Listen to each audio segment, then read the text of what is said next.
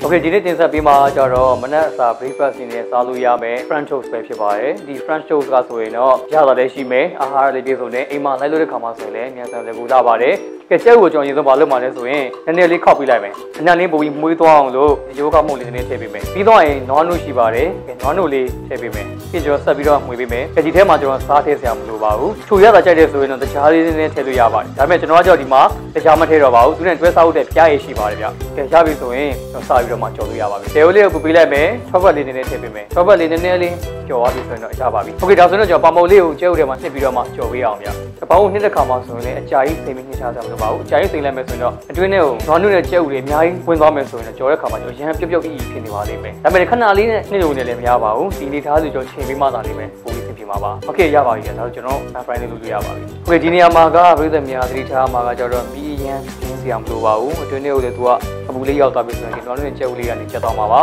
ပြားရည်တင်တွဲဆောက်လိုက်မယ်ဆိုရင်တော့အရာသာတကယ်ရှိပါတယ်ကဲအခုဆိုရင်တော့မနက်စာအတွက်ကိုအရန်ကိုလည်းကောင်းတယ်ကျမ်းမာရေးနဲ့လည်းညီညွတ်လာတဲ့ French toast ကတော့ပြီးသွားပါပြီဗျာ